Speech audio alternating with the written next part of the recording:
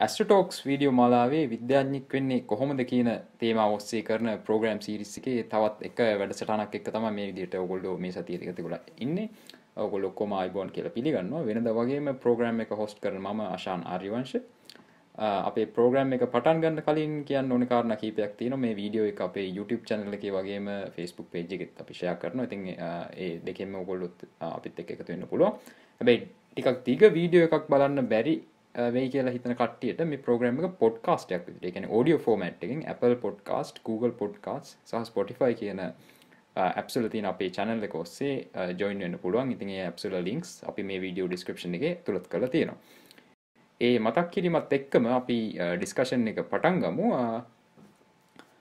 අදාපිත් එක්ක එකතු වෙලා ඉන්නේ ලංකාවෙන් බිහුණ විශිෂ්ට තාරකා විද්‍යාඥයෙක්. ඔහු තමයි ආචාරෙන් නලින් සමරසිංහ. ඔහු ආදි නාලන්දියෙක් ඔහු එක්ද සමසි අසූ එක වසරේදි තමයි කොළඹ විශ්වවිද්‍යාලයෙන් බෞතික විද්‍යා විශේෂ උපාදී ලබන්නේ ඊට පස්සේ ඔහු ඇමරිකාවේ මේරිලන් විශ්වවිද්‍යාලයෙන් තාර්ක විද්‍යාව පිළිබඳව මාස්ටර් සහ PhD කියන උපාදි සම්පූර්ණ කරනවා. ඔහු දැනට ඇරිසෝනා ප්‍රාන්තයේ මේ පලනටරි සයින්ස් ඉන්ස්ටිටියුට් එම නැත්තම් ග්‍රහවස්තු පිළිබඳව විද්‍යායතනයේ ජේෂ්ඨ විද්‍යාඥයෙක් විදිහට කටයුතු කරනවා. ඉතිං ඒවගේ තම ඔහුගේ විෂය පතේ වන්නේ කෙන් පර්ේෂණ කරන විෂය වන්නේ වල්ගාතරු එහෙමනැත් අපි ගෙනවා දූමකේතු කියලා මේ දූමකේතු පිළිබඳව සහ සෞරග්‍රාමණ්ඩලේ වෙනත් කුඩා වස්තුූන් පිළිබඳව. ඒවගේ විශේෂ දෙයක් කියන්න ඕනේ එතුමාගේ නමින් ග්‍රහකයක් නම් කරලත් තියෙනවා. ඉතින් ආචර සමරසිංහ අපේ වැඩසටාන ඔබතුමාව සාදරයෙන් පිළිගන්න. අයිබුවන්. අයිබුවන්. මම මුලින් මහන්නම් ඔබ මේ දවස්සල නිරතලා ඉන්න පර්ේෂණ මොනද කියලා. ඇතරම මේ දවස්සල අපි නිවසල දැක්ක මේ ස්වෝන් කියලා වල්ගතරොක් අපිට පේනවා. ඉතින් ඒ ගැනත් මොනහරි පර්ේෂණ කටයුතු කරනවාද? මම සෝන් ගැන පරීක්ෂණයක් කරන්නේ නෑ. නමුත් අනිත් දූමකේතුන් වල්ගතරු කියලා කියන්නේ දූමකේතුන්මයි සම්බන්ධයෙන් පරීක්ෂණ කරනවා.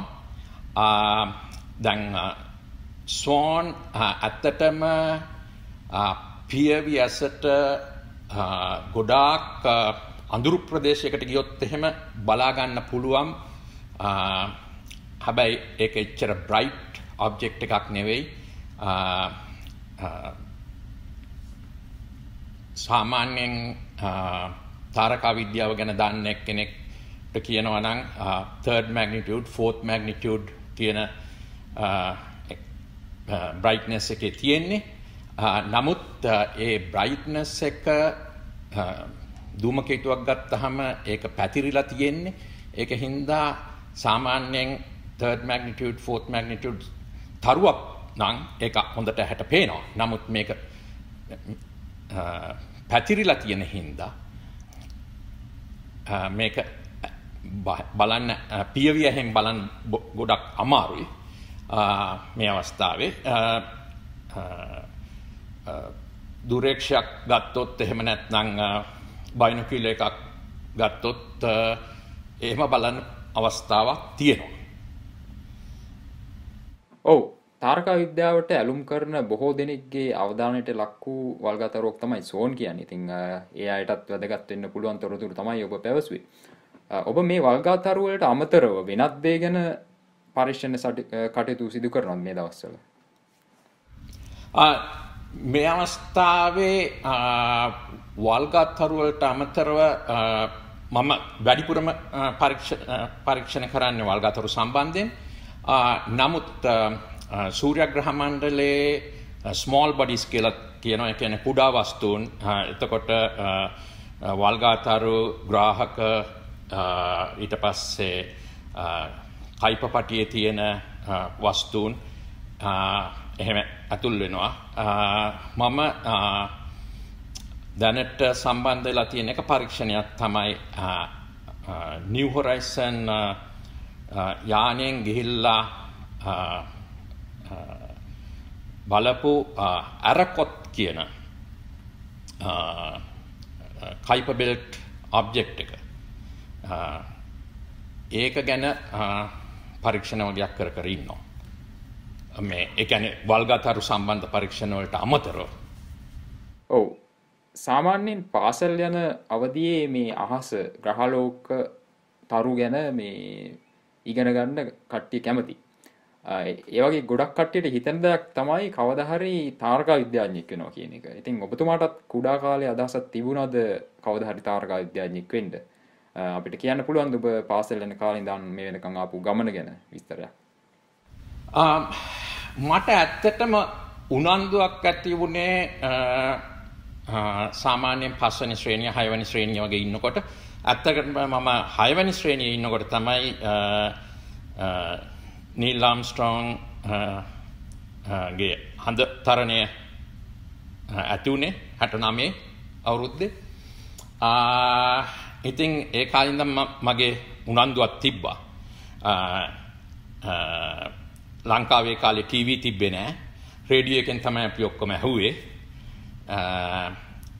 ඊට පස්සේ ඉදිරියට ඒ උනන්දු එන්න එන්න වැඩි වුණා. ඉතින් එහෙමයි වුණේ. ඔව් ආචාර්ය සමරසිංහ මම කැමති ඔබේ විශ්වවිද්‍යාලය අධ්‍යාපනය ගැන පොඩ්ඩක් කතා කරන්න. ඒ කියන්නේ විශ්වවිද්‍යාලයේ අවසාන වසරේ කියන්නේ ෆයිනල් එකට එද්දි අපිට පර්යේෂණ සිදු කරන්න සිදු වෙනවා. ඉතින් ඔබ කොළඹ විශ්වවිද්‍යාලයේ කරපු පර්යේෂණ ඒ වගේම ඔබ ඇමරිකාවේ මාස්ටර්ස් සහ PhD හදාරන කොට කරපු පර්යේෂණ අතර සම්බන්ධයක් තියෙනවද ඒ ගැන අපිට විස්තර කරන්න පුළුවන්. ඔව් ඇත්තට මෙහෙමයි. මම මේකට හේතුවක් කියන්නම්. හැබැයි මම පොඩ්ඩක් ඊට කලින් ගියොත් මම කිව්වා මට ඉස්සල්ල මුණන්දු ඇති වුණේ හයවැනි ශ්‍රේණිය හත්වැනි ශ්‍රේණියයේ කාලේ. ඊට පස්සේ මම ඒ කාලේ හිටියේ ගිය පාසල ගල්කිස්ස හෙන විද්‍යාලය කියලා. ඒ හෙන විද්‍යාලය පටන් ගත්ත දවස්වලම දැන් එකේ නම වෙනස් කළා. නමුත් ඊට පස්සේ ඕලෙවල් වලට ඒ ලෙවල් වලටයි මම නාලන්ද විද්‍යාලයට ගියා. ඊට පස්සේ මට තේරුණා ලංකාවේ තාරක විද්‍යාව උගන්වන්නේ නැහැ ඉස්කෝලේ වුණත්. විශ්වවිද්‍යාලය වුණත් ඇත්තටම නෑ ඒ කාලේ එක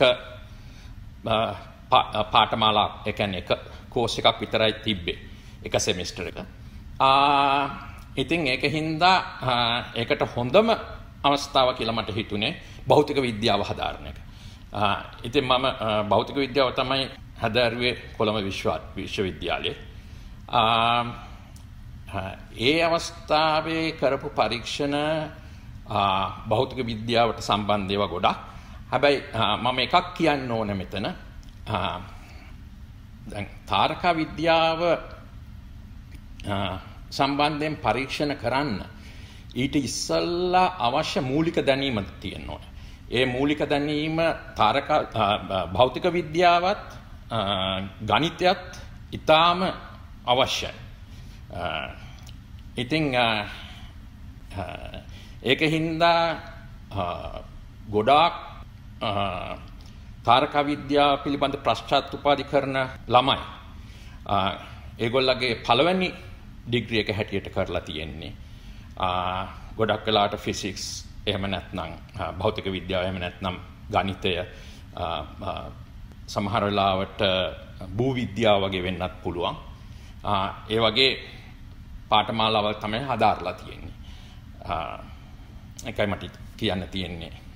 ඔව් ඔබතුමා මෙතනදී ඊටාම වැදගත් කරුණක් තමයි මතුකලේ. දැන් ලංකාවේ අධ්‍යාපන ක්‍රමයේ තියෙන අඩුවක් තමයි අපිට A level වලට එක විෂයපතයක් තෝරගත්තට පස්සේ ඒ විෂය ඔස්සේම ගමන් කිරීමට සිදුවීම. උදාහරණයක් විදිහට දැන් බයෝ කරපු කෙනෙක්ට පස්සේ කාලෙක මැත්ස් හෝ ෆිසික්ස් වගේ විෂයකට මාරු වෙන්න අමාරුයි. ඉතින් අපේ විශ්වවිද්‍යාලයක් උපාධියක් කරනකොට විශ්වවිද්‍යාලයක උපාධියකට ඇතුල් වෙනකොටත් අපිට තෝරගන්න සිද්ධ වෙන්නේ අපි ඒ ලෙවල් වලට කරපු සබ්ජෙක්ට් වලට අදාළ සබ්ජෙක්ට් එකකට තමයි. ඉතින් බයෝ වගේ කරන ශිෂ්‍යෙක්ට මේ ඇස්ට්‍රොනොමි පැත්තට යොමු වෙන්න ආසාවක් තියෙනවා නම් ඒ අයට මොන වගේ ඔපචුනිටිස්ද තියෙන්නේ උසස් අධ්‍යාපනය හදාරනකොට. දැන් ලංකාවේ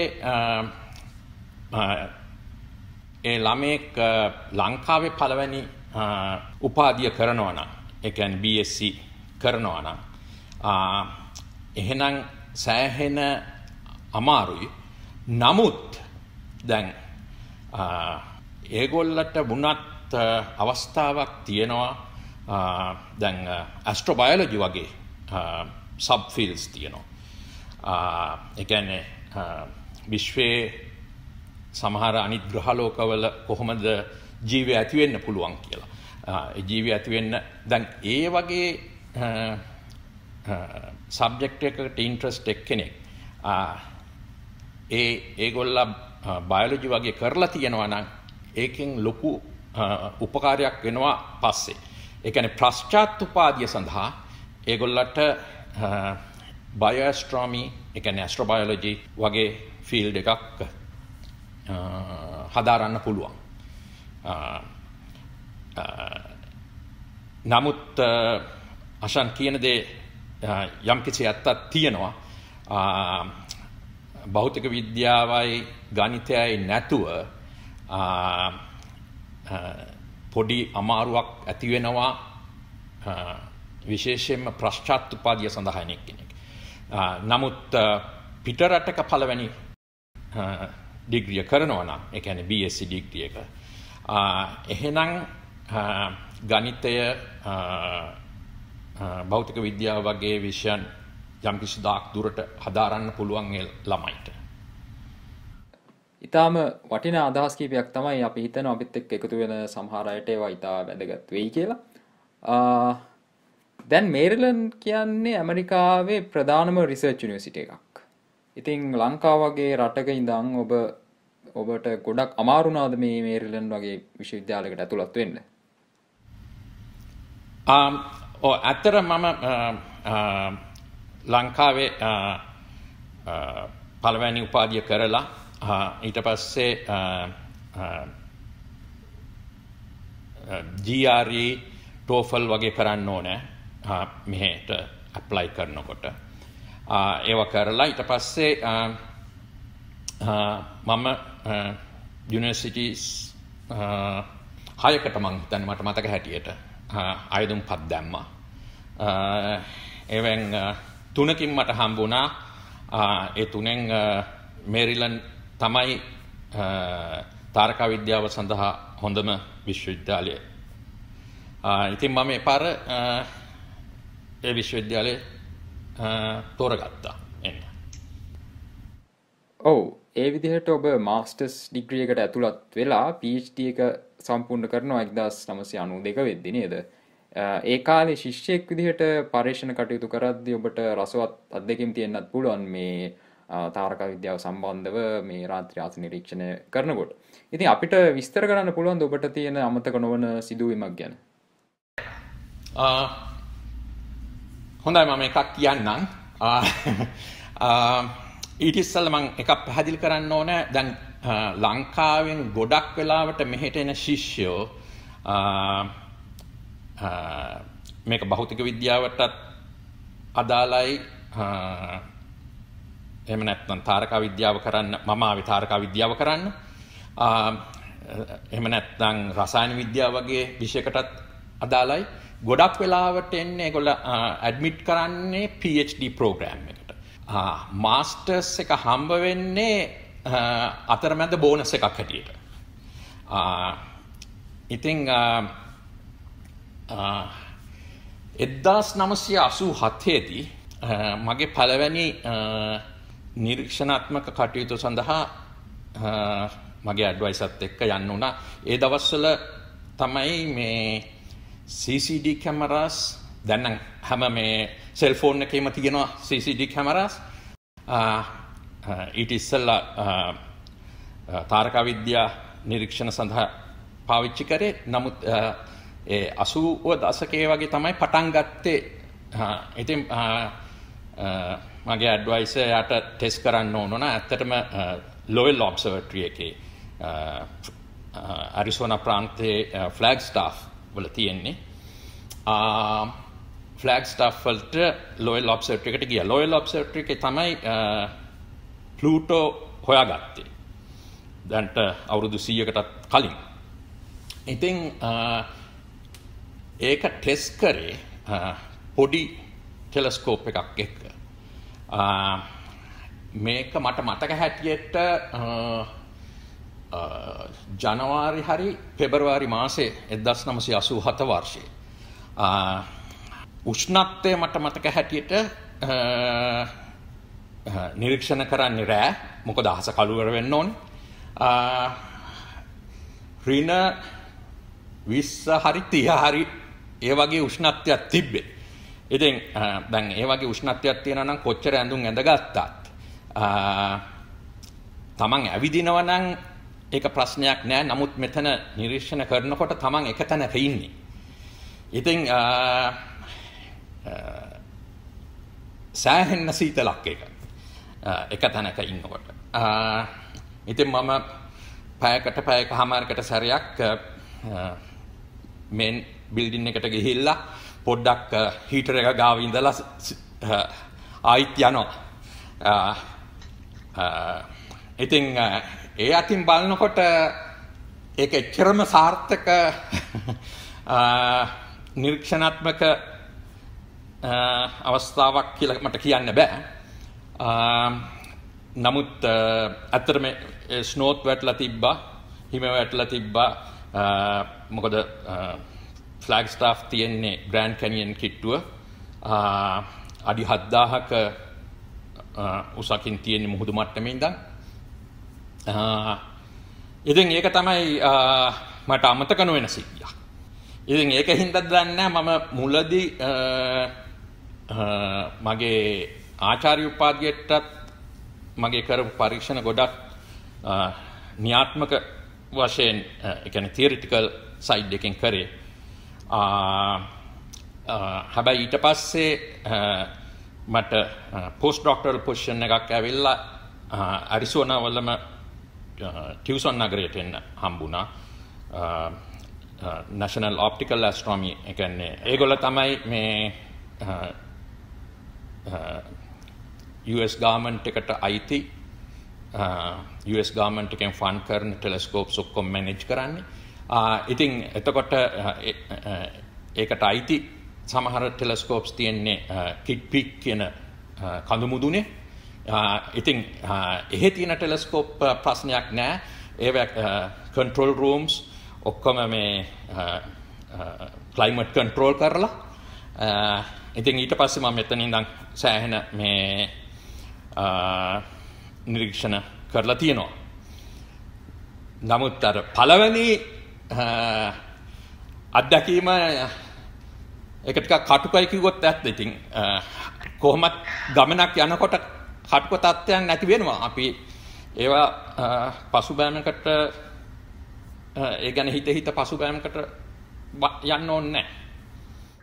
ඔව් ඉතාම රසවත් සිදුවීමක් ඒකෙන් අපිට වටින ආදර්ශ කීපයකුත් ගන්න පුළුවන් මේ ශිෂ්‍යයෙක් විදිහට කොච්චර කටුක අත්දැකීම් ලැබුවොත් ඒක පසුබසින් නැතුව ඉදිරියට යන්න ඕනේ කියන එක ගැන. දැන් ඒ විදිහට සීතලේ නිදිමරාගෙන මේ නිරීක්ෂණය කරන විද්‍යාඥයෝ තමයි මේ තාර්කා විද්‍යාඥයෝ කියන්නේ. කියන්නේ අපි කියනවා ඇස්ට්‍රොනොමර්ස්ලා නේද? ඒ වගේම තාරකා භෞතික විද්‍යාඥයෝ කියලා කොට්ටාශයක් ඉන්නවා ඇස්ට්‍රොෆිසිසිස්ට්ලා කියලා අපි කියනවා. තහ ගැන ආදුනික තාරකා විද්‍යාඥයෝ කියලා කොටසකුත් ඉන්නවා අපි ඇමච ඇස්ට්‍රනොමස්ලා කියලා ගොලන්ට කියන ති මේ වෘතින්ගේ තියෙන වෙනස්කම් පිළිබඳ ඔබට කියන්න පුළුවන්ද ඒවගේම දැන් ඔබ ඇස්ට්‍රෝම කෙනෙක් විදිහට විශේෂ ඔපචනිටස් තියෙනවාද මේ අනිත් අයට සාපේක්ෂ ඔබ වගේ කට්ටියට ලැබෙන ඕ අශන් ඔත්තන ප්‍රශ්න දෙකක් තියෙන මම දකින හැටියට මම ඉස්සල්ලා කියන්නම් තාරකා විද්‍යාඥයෝයි භෞතික තාරකා විද්‍යාඥයෝ අතර වෙනස. දැන් තාරකා විද්‍යාඥයෝ කියන්නේ ඇත්තටම කියනවා නම් අපි අහසේ යමක් නිරීක්ෂණය කළා ඒව සඳහන් කරලා ඒකෙන් පේපර් එකක් පබ්ලිෂ් කරනවා. නමුත් තාරකා භෞතික විද්‍යාඥයෝ කියන්නේ ඒ නිරීක්ෂණ ඊට පස්සේ තමන් ඉන්ටප්‍රිට් කරන්න ඕන. ඒකට භෞතික විද්‍යාව අවශ්‍යයි. එතකොට ඒගොල්ලට කියන්නේ තාරකා භෞතික විද්‍යාඥයෝ කියලා. ඇත්තටම දැනට ගත්තොත්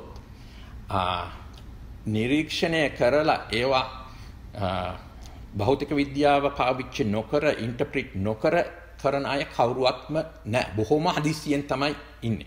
දැන් උදාහරණයක් හැටියට අහසේ තරුති බලුවොත් ඒවා බොහෝම හිමින් මූ වෙන ඒවට කියන අපි ප්‍රොපමෝෂන් එක කියලා. Uh, ඉතින් ඒවා කැල්කුලේට් කරලා කවුරු හරි පේපර් එකක් uh, පබ්ලිෂ් කරනවා නම් එහෙනම් අපිට කියන්න පුළුවන් uh, එයා ඒක ඇස්ට්‍රොමි පේපර් එකක් කියලා. නමුත් සියට අනුනාමයක්ම තියෙන්නේ ඇස්ට්‍රෝෆිසික්ස්. ඉතින් ප්‍රක්ටිකලි ගත්තොත් එහෙම ගොඩාක් එකැන වෘත්තිමය වශයෙන් ඉන්න තාරකා විද්‍යාඥයෝ ඒගොල්ල තාරකා භෞතික විද්‍යාඥයෝ. නමුත් ඒ වචන දෙකම සමහර වෙලාවට පාවිච්චි කරනවා මිනිස්සු. ඒක කිසි වරදක් නෑ. ඉතින් නමුත් මම ඒක පැහැදිලි කරේ ඒක ඒ වෙනස හඳුන්වලා දෙන්න. ඊට පස්සේ ආධුනික තාරකා විද්‍යාඥයෝ කියන්නේ උපාධියක් ගන්න අවශ්‍ය නැහැ. මම කලින් කිව්වේ තාරකා විද්‍යාඥයෝයි භෞතික තාරකා විද්‍යාඥයෝයි ඒගොල්ලා සාමාන්‍යයෙන් ආචාර්ය උපාධිය අරගෙන තියෙන්නේ. අඩුම වශයෙන් මාස්ටර්ස්වත් කරලා තියෙනවා. නමුත් ආධුනික තාරකා විද්‍යාඥයෙකුට වෙන්න තමන්ට තියෙන්න ඕනේ උනන්දුව විතරයි. ඊට පස්සේ තමන් ගිහිල්ලා නිරීක්ෂණ කරන්න පුළුවන්. ඉතින් ඇත්තටම සමහර වෙලාවට ආධුනික තාරකා විද්‍යාඥයෝ ඇමචර් ඇස්ට්‍රොනොමර්ස්ලා කරන නිරීක්ෂණ පාවිච්චි කරනවා ඇස්ට්‍රොනොමර්ස්ලා ඒ කියන්නේ ඇස්ට්‍රොෆිසිස්ට්ලා ඒවා පාවිච්චි කරනවා සමහර වෙලාවට. ඒ කියන්නේ ඇත්තටම දැන් උදාහරණයක් හැටියට ආල ඇති එදස් නමසය අනු හතරේ ශූමයක ලීවී නමය බ්‍රහස්පිති ග්‍රහයට කඩහැල්න එතන ලීවි එයා ආදුනික තාර්ක විද්‍යාඥය එයා ඇත්තට මෙයාගේ පළවෙනි උපාදිය තියෙන්නේ ඉංග්‍රීසි සාහිත්‍ය සම්බන්ධයෙන්. එකන්නේ ඕනම කෙනෙක්ට මන්දන්නා වෛද්‍යවරු ඉන්නවා ඉංජිනේරුවරු ඉන්නවා සමහල්ලාට විද්‍යා නොකරපු අය ඉන්නවා ඒගොල්ලට ඕන උනන්දුව විතර ආධුනික විද්‍යාඥයෙක් වෙන්න. ඔවු මෙතනදී මට මතක් වෙනවා මම ඉස්කෝල යන කාලේ අපේ හතර හරි පා හරි වසරවල පොතක තිබ්බා මේ ඉකයා සෙකී වල්ගතරු ගැන ඉතින් ජපාන හිටිය තරුණ ශිෂ්‍යෙක් තමයි මේ කවුරු එකයා අය වල්ගතරුව සොයාගත්ත පුද්ගලය. ඉතින් ඔවුත් ඒ වගේ අඩු අඩු අයසකින් තමන් විසින්ම සාදාගත දුරේක්ෂයක් හදල තමයි මේ ආදුනික තාර්කාවේදීක් විදිට ඒ සොයා ගැනීම කරන්නේ නේද? ඕ ඇත්තටම විශේෂයෙන් දසක තුන හතරක් එහට ගියොත් එහෙම ගොඩාක් වෙලාවට වල්ගතරු හොයාගන්නේ ඒ වල්ගතරු නම් කරන්නේ වල්ගතරුව හොයාගන්න එක්කෙන වෙනුවෙන් ඒවා හොයාගෙන තියෙන්නේ ආධුනික තාරකා විද්‍යාඥයෝ. හැබැයි දැනට මේ අවස්ථාවේ ආධුනිකය හොයාගන්න වල්ගත්තරු ප්‍රමාණය බොහොම සුළුයි. ඒකට හේතුව තමයි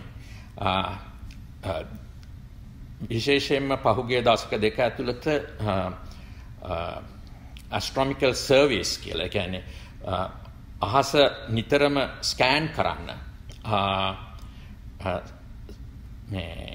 නිරීක්ෂණය කරන්න සර්විස් කීපයක් තියෙනවා මොකද හේතුව පොළොව ගාවට එන ආකාසවස්තුූන් සම්බන්ධයෙන් හොයාගන්න. ඒවැන් තමයි ගොඩක් වෙලාට හොයාගන්න දැන් උදාහරණයක් හැටියට පෑන්ස්ටාස් කියල කොමත් සහල ඇති. පෑන්ස්ටාස් කියන්නේ එහෙම සර්ව එක. කැටලීනා කියලා තියෙනවා. ඊට පස්සේ ඇටලස් කියලා.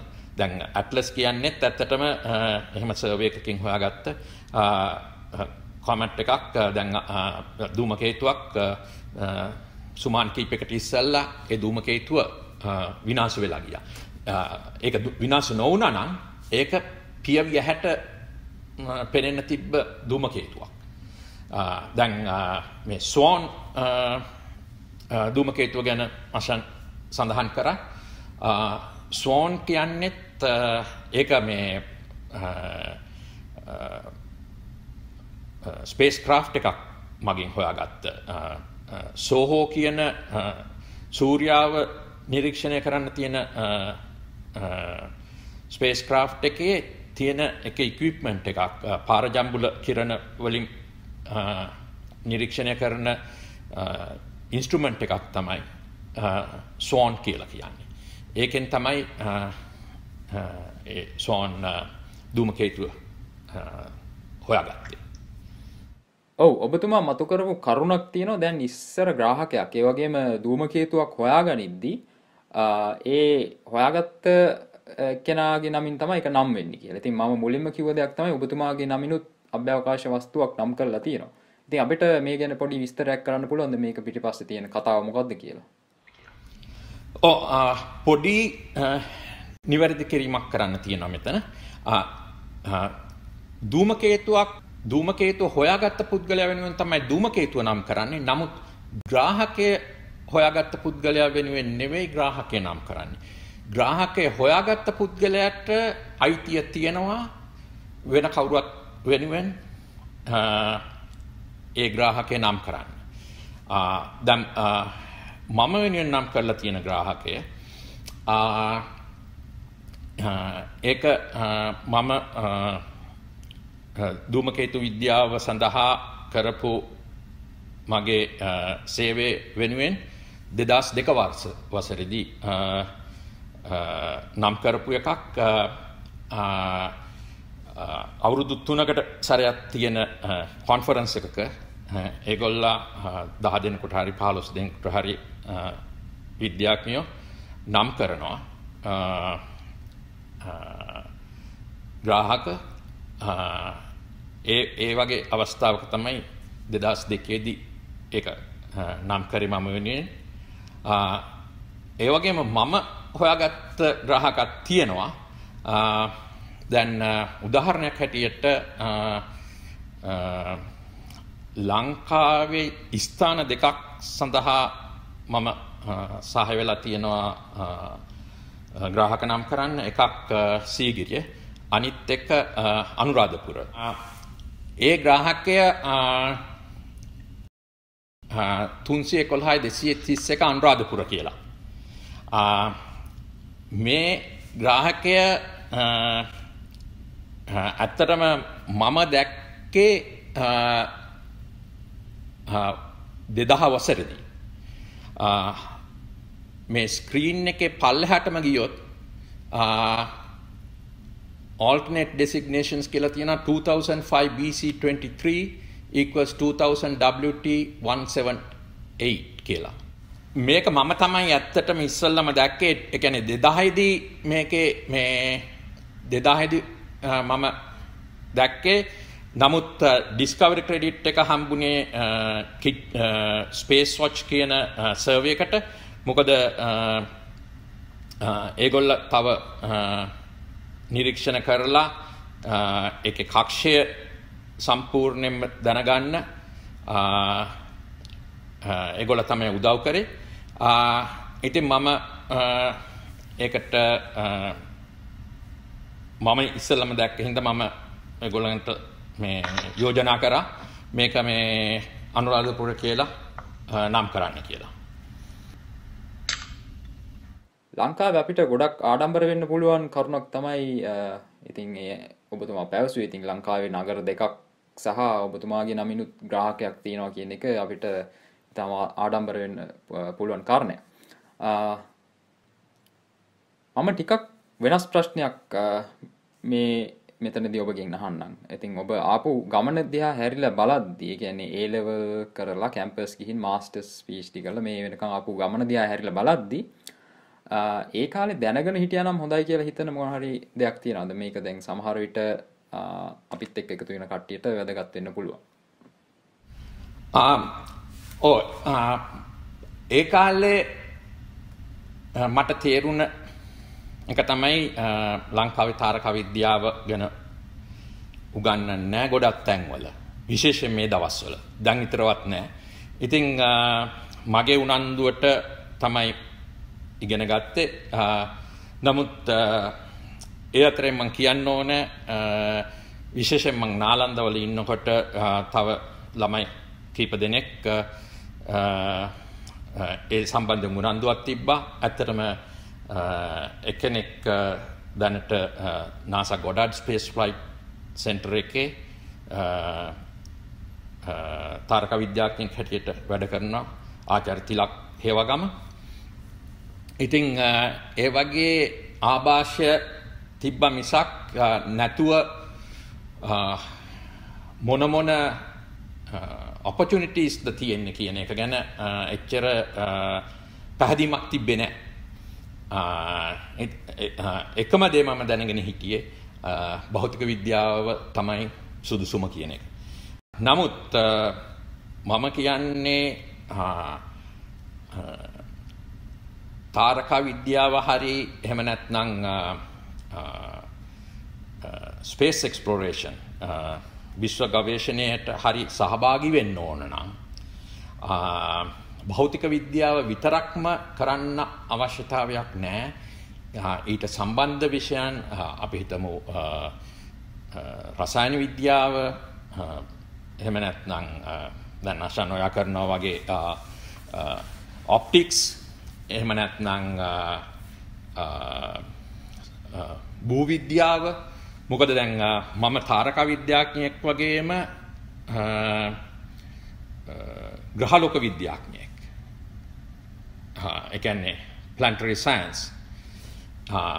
දැන් planetary science ග්‍රහලෝක විද්‍යාව ගත්තොත් ග්‍රහලෝක විද්‍යාවේ සමහරු එනවා තාරක විද්‍යාව පැත්තෙන්. තවත් සමහරු එනවා භූ විද්‍යාව පැත්තෙන්. මොකද දැන් ස්පේස් ක්‍රාෆ්ට් වලින් අපි පින්තුර ගත්තහම අනිත් ග්‍රහලෝකවල හරි එහෙම නැත්නම් ධූමකේතුවක හරි ග්‍රාහකයක හරි ඒවා විශ්ලේෂණය කරන්න භූවිද්‍යාව පිළිබඳ දැනීමක් තියෙන්න ඕනේ. ඉතින් එහෙම මේ තව තව අවස්ථා තියෙනවා ළමයිට විශ්ව ගවේෂණයට සම්බන්ධ වෙන්න. ඉතින් ඒ අතින් හිතන්න එපා එකම මාර්ගයයි තියෙන්නේ කියලා. නමුත් වෙන වෙන මාර්ග තියෙනවා. දැන් උදාහරණයක් හැටියට ඔප්ටික්ස් කරනවා නම් ඊට පස්සේ දූරදක්ෂ සම්බන්ධයෙන් හදනකොට එතනදී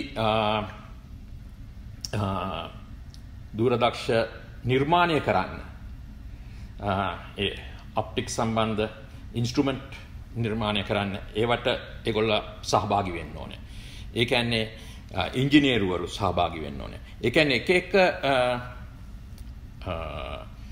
රිලේටඩ් ෆීල්ඩ්ස් වලින් සහභාගීත්වයක් දෙන්න පුළුවන්. ඒ අතින් බලනකොට ගොඩාක් අවස්ථා තියෙනවා මේ ළමයිට ඒ සම් තාරකා විද්‍යාවම නොකරත්. මොකද තාරකා විද්‍යාවම ගන්නවා නම් සෑහෙන කම්පිටිටිව් නමුත් අර වගේ ඒව කියන්නේ රස්සාවල් හොයාගන්න එහෙම බලනවා නම් ගොඩක් ඔපචුනිටිස් තියෙනවා. හරි. ඕනම කෙනෙක්ට වැදගත් උපදෙස් කීපයක් තමයි ආචාර සමරසිංහකින් ලැබුණේ. ඇත්තරම තාර්කා විද්‍යාව කියන්නේ මේ මැත්ස් ෆිසික්ස් විතරක් නෙමෙයි ඒ කියන්නේ වෙනත් ක්ෂේත්‍ර ගොඩාක් එකට කැටිවුණ විද්‍යාවක්. ඉතින් වෙනත් ක්ෂේත්‍ර ඔස්සේත් මේ තාරක විද්‍යාවට යොමු වෙන්න පුළුවන් අවස්ථාව ගොඩක් කටියට තියෙනවා. ඉතින් ඒ වැදගත් පණිවිඩය දුන්න එක ගැන ඔබතුමාට බෙහෙවින්ම ස්තුතිවන්ත වෙන. ඕ අපේ ඩිස්කශන් එක අවසානයට තමයි ඇවිත්තින්නේ අපි වෙන්ද වගේ මද ප්‍රෝග්‍රෑම් එකත් ලංකාවන්න ශිෂ්‍ය ශිෂ්‍යාවන්ට බොහෝ වැදගත්වෙන සංවාධයක් වෙන්න ඇති කියලා හිතනවා. අද ප්‍රෝග්‍රෑම් එකට සම්බන්ධ වනේ ලංකාවෙන් බිහුණ කීර්තිමත් තාර්ක විද්‍යාඥයෙක් වන ආචාරය නලින් සමරසිංහ ඉතින් ආචාරිතුමනි ඔබගේ වටිනා කාලයෙන් අඩහෝරාවක් වැය කරලා මේ විදියට අපිත් එක්ක එකතු වෙන එකට බොහොම ස්තුතියි. බොහොම සන්තෝෂයි. මේ විදිහට අපේ තවත් ඇස්ට්‍රෝ ටොක්ස් ප්‍රෝග්‍රෑම් එකක් අවසන් වෙනවා. අපිත් එක්ක එකතු වුණ ඔයාලටත් ගොඩක් ස්තුතියි. අපේ ප්‍රෝග්‍රෑම් එක ඕගොල්ලෝ එන්ජොයි කරා නම් පේජ් එකටයි channel එකට ලයික් එකක් දාන්න, ෂෙයා කරන්න අනිත් අයට දැනගන්න. ඔයාලට මේ ප්‍රෝග්‍රෑම් වලට එන සයින්ටිස්ට්ලකින් අහන්න මොකක් හරි ප්‍රශ්නයක් තියෙනවා නම් ඔයාලට පුළුවන් අපි මේ පෝස්ට් කරන වීඩියෝ එකේ කමෙන්ට් එකක් දාන්න. අපි ඒ වගේ තෝරගත්ත ප්‍රශ්න කිහිපයක් ඊළඟට එන ගෙස්ට්ලකින් අහන්න ප්ලෑන් කරලා තියෙනවා. ඉතින් අපි ඊළඟ ඇස්ට්‍රෝ ටොක්ස් ප්‍රෝග්‍රෑම් එකකින් හම්බෙමු. මේ විදිහටම ලංකාවේ ලංකාවෙන් බිහිවෙච්ච ශ්‍රේෂ්ඨ විද්‍යාඥයෙක් එක්ක එතකම් ඔයගොල්ලන්ට ආයුබෝවන්